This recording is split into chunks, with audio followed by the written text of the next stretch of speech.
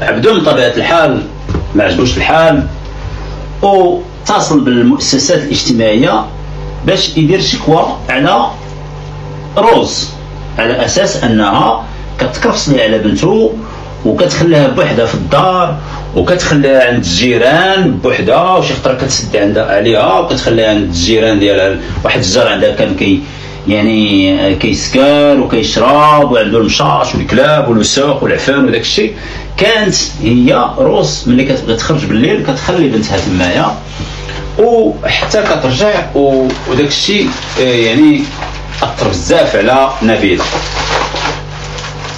وكيعاود عبدو أنه شي خطرات أن هذاك الجار ديال روز واحد الإنسان اللي ما كيخدم ما كيدير والو بالعكس كيتجمعوا عنده يعني الناس اللي كيستعملوا المخدرات وكيشربوا وكتكون حتى هي تمايا كتشرب وكتكون حتى نبيلة تمايا معاهم على أساس أنها ما كتبغيش شي خطرة تخليها بوحدها في الدار. اللي خلى عبدو أنه يرفع شكايه المؤسسات الاجتماعية على أساس انهم يعطيوه آه، أوراق دلائل كوم كوا آه، باش يقدر يدفعوا المحكمة باش يشد الحضانة ديال بنته. ولكن للأسف الشديد الروز عندها واحد الميزة زوينة اللي هي أنها كتعرف تهضر مزيان. ملي كيجيو عند المؤسسات وكدير معاهم rendez-vous كتستعد لهم مزيان كتمشي ما شاربه ما والو لابسة مزيان وداك الشيء. وكتقنعهم بأن راه البنت راه في أمان الله وبأن راه غير عبدو هو اللي فيه المشكل وبأن راه عبدو هو اللي عنده شخصية نرجسية وبأن راه عبدو هو اللي السبب ديال هذا الشيء كامل وبأن راه عبدو ما كيتهلاش فيهم وبأن عبدو مهمل وبأن عبدو كي يعني كيهدد البنت الصغيرة إلا ما قالت ليش الأخبار ديالها. المهم شت فيا نقطع فيك. هذا الشيء اللي خلى عبدو يواصل الصراع ديالو مع الإكس ديالو على أساس أنه يحصل على بنته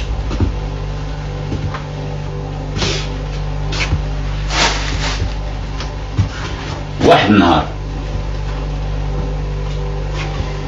غادي يسمع واحد الجار في الوحدة ونص الليل واحد الصوت ديال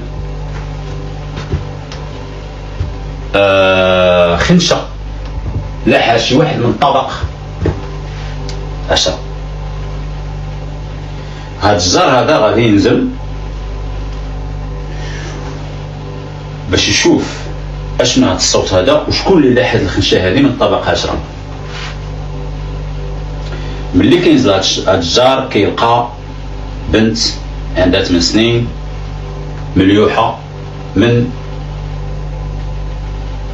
الطابق العاشر وفي نفس الوقت نزل واحد الجار آخر حتى هو حضر. وحضروا لهذيك ال... هذيك المأساة. الجيران كيشوفوا بأن راه شي وحدة كطل من الطابق العاشر من بعد ما تلحت هذيك الخنشة. كيتأكدوا بأنه راه الأم ديال نبيلة. اللي هي روز يتصلوا على البوليس. واحد شوية كتنزل روز من الطبق العاشر كتجي كتنزل حتى الطبق الثاني اللي فيه هذاك الجار كتدخل كتشد عنده جوج بيرات كتجيبهم كتشرب كتجي كتنزل. كتنزل داخل كتبغي تمشي للطوموبيله ديالها كيجيو البوليس في نفس اللحظة.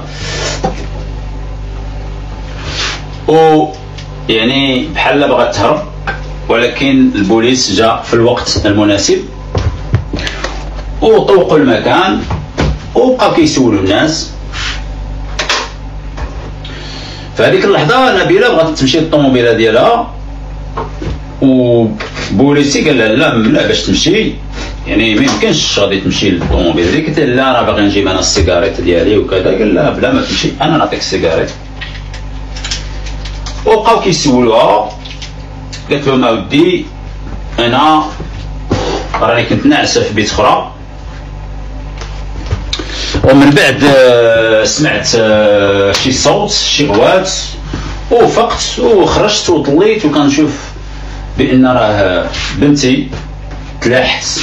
من ديزيام إيطاج انتحرات ونزلت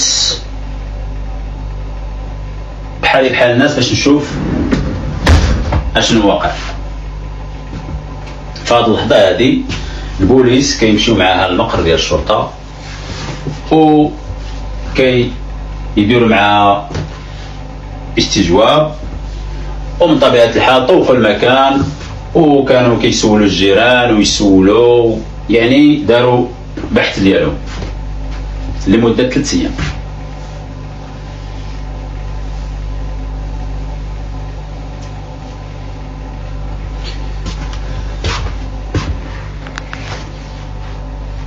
هاد المرحلة عبدو.